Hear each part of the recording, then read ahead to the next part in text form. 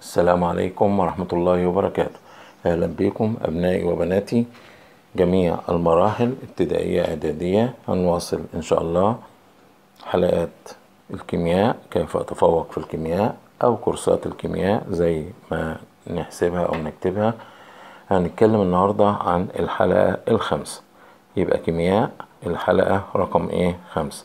نتابع واللي عاوز يستفيد في حلقات كيمياء كتير أولى ثانوي وتالتة ثانوي وتانية ثانوي على اليوتيوب. نتابع ونستفيد من المعلومات اللي موجودة.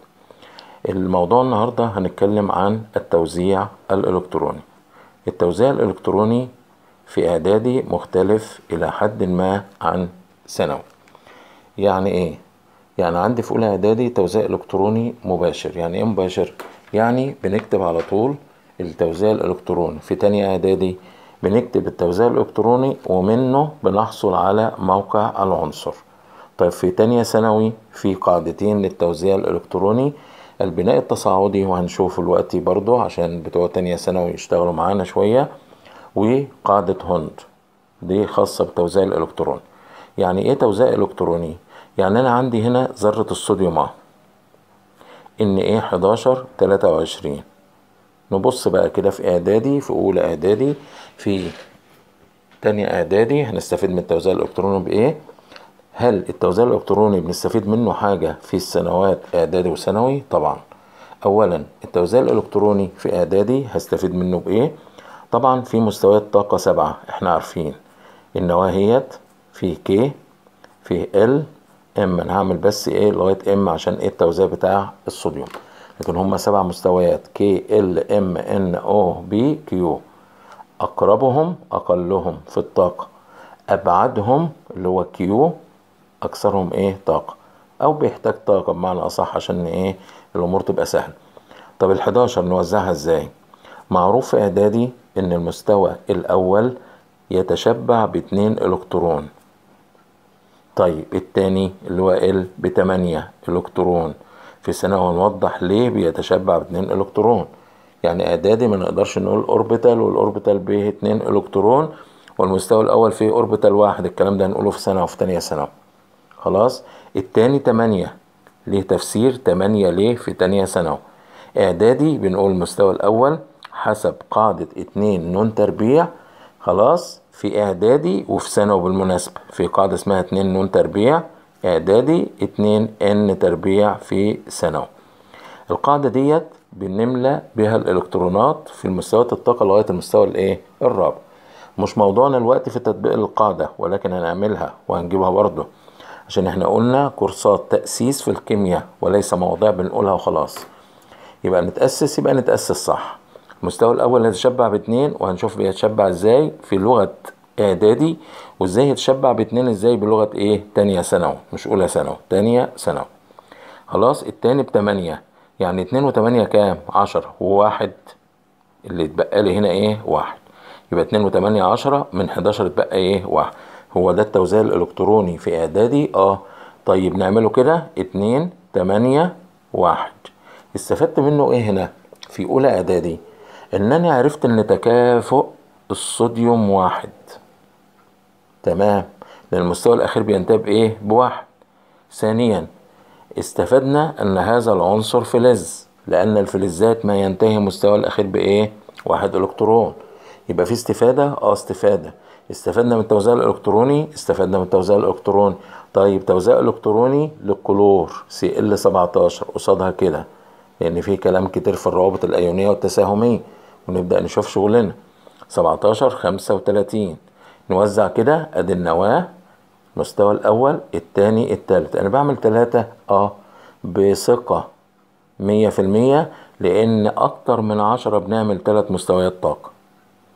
أقل من عشرة اتنين مستوى طاقة بس. وهنشوف المثال ده حالا. طيب نشوف الكلور الأول. المستوى الأول بيتشبع باتنين زي ما اتفقنا حسب قاعدة اتنين نون تربيع.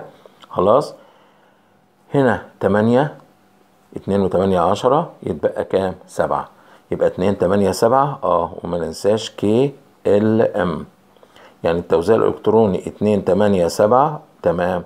يبقى ده إيه؟ لا فلز. ليه؟ لأن اللا فلز ما ينتهي مستواها الخارجي. يبقى بسرعة كده برضو نكتب الايه القاعدة ديت دي الفلزات وهنا اللا فلزات. عندي المقارنة ديت في أولى إعدادي تانية إعدادي أولى ثانوي وتانية ثانوي. ها نبص كده على الفلزات. ما ينتهي اللي يهمنا الوقت في الكيمياء ما ينتهي مستواها الخارجي فلزات ولا فلزات بالمناسبة في سنة رابعة ابتدائي. بس حاجات مش هنا ما فيهاش إلكترونات. يعني لها بريق معدني موصلة جيدة للكهرباء موصلة جيدة للحرارة. خلاص ده رابعة ابتدائي عشان برضو إيه ما ننساش حبايبنا الصغيرين. يبقى ما ينتهي مستوى الخارجي بإيه؟ بواحد أو اتنين أو تلاتة. إلكترون. ما نطبق كده. يعني الصوديوم فلز آه. خلاص؟ ده بالتكافؤ. احادي ليه؟ لأنه بينتهي بإيه؟ واحد إلكترون. طيب أو يفقد أو يميل لفقد واحد إيه؟ إلكترون. لأن التكافؤ برضه هنقوله بالمرة. إزاي بنعرف موضوع التكافؤ؟ إزاي الصوديوم أحادي؟ إزاي الكلور أحادي؟ مع إن الكلور بينتهي بسبعة ما بينتهيش بواحد لأنه يميل لاكتساب واحد إلكترون. خلاص يبقى نشوف الفلزات الأول ما ينتهي مستواها الخارجي بخمسة أو ستة أو سبعة. خمسة أو ستة أو إيه؟ سبعة إلكترون. يعني هنا التكافؤ. أحادي ممكن يقول لي علل ليه؟ ليه التكافؤ الصوديوم أحادي؟ لماذا؟ لأنه شوف الإجابة النموذجية بقى على علم بقى مش أي كلام. لأنه عنصر فلز. عرفت منين؟ بينتهي بواحد. طيب الفلزات؟ ها؟ فلزات. بادئة بفاء. تميل لفقد الكترونات يبقى عنصر فلزي آه يميل لفقد واحد إلكترون. طيب ما تيجي بقى برضو هنا علل الكلور التكافؤ بتاعه حادي. تكافؤ حادي هنا مع إنه بينتهي بإيه؟ بسبعة إلكترون. لماذا؟ لأنه عنصر لا فلزي. لأنه عنصر لا فلزي. استفدنا بإيه يعني؟ عنصر لا فلزي يميل لاكتساب يميل لاكتساب واحد إلكترون. خدوا بالكم إحنا بنجيب أمثلة. إحنا ممكن نقعد نوزع كتير وحاجات كتيرة بس بنجيب إيه؟ أمثلة. تعالوا بقى نطبق قاعدة اتنين نون تربيع على المستويات الأربعة. وأنها لا تطبق خلاص في مستويات الطاقة إلا لغاية المستوى الرابع فقط. خلينا في المستوى الأول. المستوى الأول. عايزين نشوف فيه كم إلكترون. أنا عامل نفسي بقى مش عارف حاجة لا عارف كيمياء ولا عارف علوم. المستوى الأول يا مستر بيتملى بيتملى بكام؟ باتنين إلكترون. إيه دليلك؟ نطبق القاعدة دي بقى. اتنين مضروبة في نون يعني رقم المستوى. خلاص يبقى المستوى الأول. يبقى اتنين في واحد كل تربيع. اتنين في واحد كل تربيع. يبقى الوقت هنا اتنين في واحد كل تربيع. خلاص؟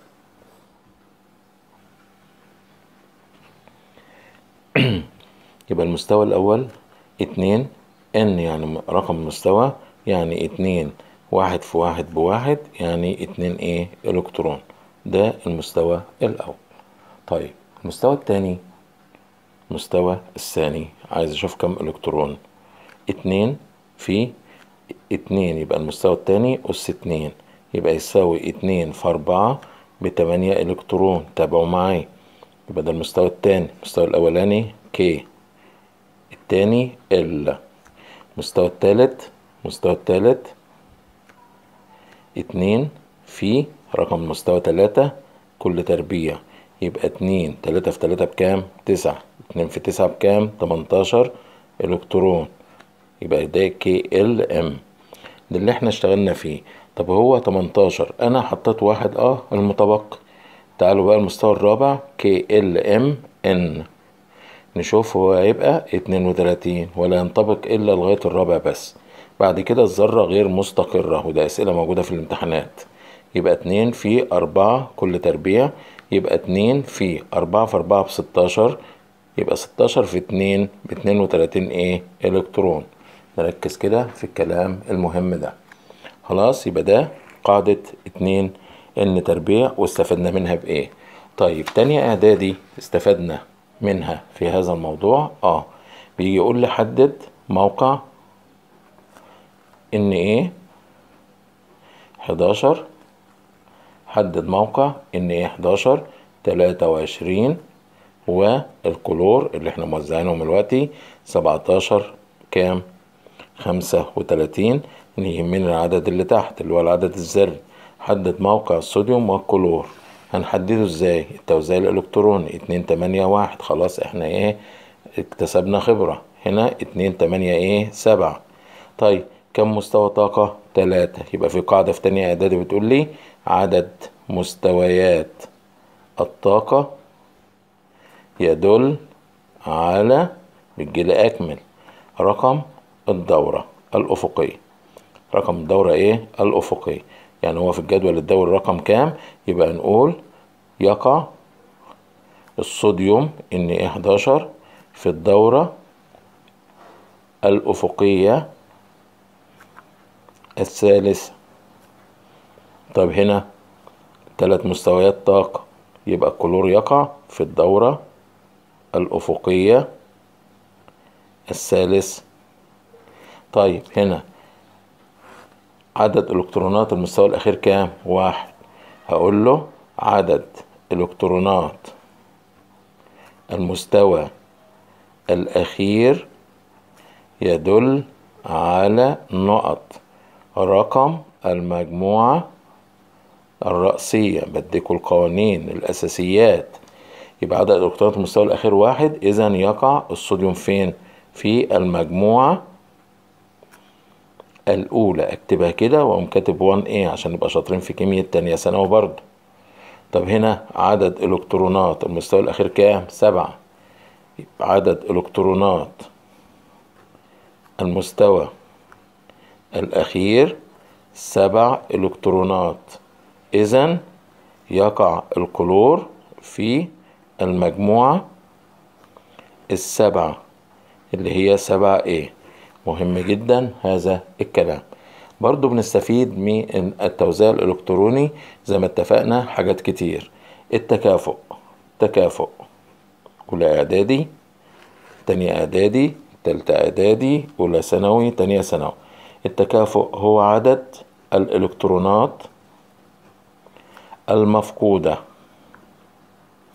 أو المكتسبة. وبرضو عايزين إيه؟ نبقى برضو إيه؟ في تلميحات كده كلمة مفقودة في حالة مين الفلزات لأن اتفقنا فاء يعني فقد أو المكتسبة في حالة إيه؟ اللافلزات. يبقى عدد الإلكترونات المفقودة أو المكتسبة أو التي تساهم أو التي تساهم به ذرة مع أخرى. يبقى بنستفيد التكافؤ. التكافؤ ده مهم طبعا. يبقى ما لك الألمونيوم 13 تكافؤه إيه؟ ما نألفش بقى. يبقى نوزع 2 8 3 تكافؤ إيه؟ أولا 3 يعني فلز يميل لفقد 3 إذا ثلاثي التكافؤ. النيتروجين N سبعة. اتنين خمسة. لا فلز ركزوا معايا. ها يبقى يعمل لي اكتساب تلاتة. اكتساب تلاتة. اذا هو ثلاثي. الأكسجين وهو تمانية. اتنين ستة. لا فلز يعمل لي اكتساب. اتنين الكترون. اذا ثنائي التكافؤ. ده كان حلقة النهاردة إن شاء الله وبنحاول نعملها أجزاء صغيرة كده عشان يسهل إيه التحميل والرفع إن شاء الله ونتابع مع بعض جزئية بجزئية كده. طبعا في ناس طالبة واجب الواجب إنك أنت تمسك ورقة وقلم وتبص على الحلقة كويس مرة واثنين وثلاثه مش عشان دعاية ولا مش دعاية لا عشان تثبت المعلومة ونستفيد. وفي الآخر إن شاء الله يعني دي الحلقة رقم خمسة. دي الحلقة رقم خمسة. إن شاء الله الحلقة القادمة هنديكوا واجب على الحلقات الخمسة اللي فاتوا كلهم. يعني هنشوف خدنا فيهم إيه ونحط أسئلة فيهم نشوف هنعرف نجاوب ولا لا. ونتابع مع بعض على اليوتيوب والماسنجر والواتس إن شاء الله. على أساس يبقى في تواصل ونستفيد في الفروع الثلاثة الكيمياء والفيزياء والأحياء مراحل ابتدائي إعدادي ثانوي. طبعا في حاجات كتيرة موجودة في المراحل الثلاثة مشتركة بس كل إيه؟ جزئية حسب المرحلة. ما تنسوش الاشتراك معنا في قناتنا مصطفى رجب خبير العلوم وتابعوا الحلقات فيزياء كيمياء أحياء اللي موجودة على اليوتيوب حلقات شرح ومراجعة عشان نستفيد والناس اللي عندها امتحانات في شهر سبعة آه، أنا بذكرهم دايما إن في الامتحانات في الترم الأول والترم الثاني بالمناسبة وموجودة على اليوتيوب. يعني موجود حل محافظات في الترم الأول والترم الثاني في أولى وثانيه وثالثه عشان الناس اللي هيمتحنوا لأن بيمتحنوا الترمين مع بعض. ونتمنى لهم التوفيق إن شاء الله وإلى اللقاء والسلام عليكم ورحمة الله وبركاته.